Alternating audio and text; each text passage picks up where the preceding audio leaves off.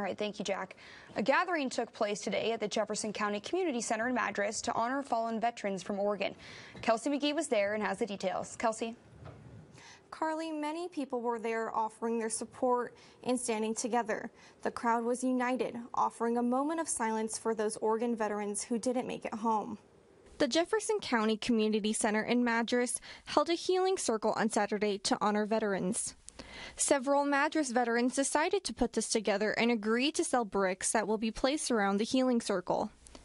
There were 51 bricks with the names of Oregonians who are or were classified as missing in action in Vietnam.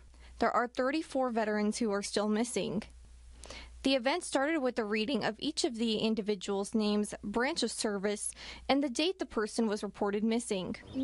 One of many veterans uh, events around the country that serve to recognize all veterans that have served uh, to make this country what it is today, to keep it safe, and uh, the commitments that it takes and it makes, and then for these fellows that do these things, these organizations continue uh, to serve, and uh, it's just uh, uh, an honor to be a part of remembering all the veterans uh,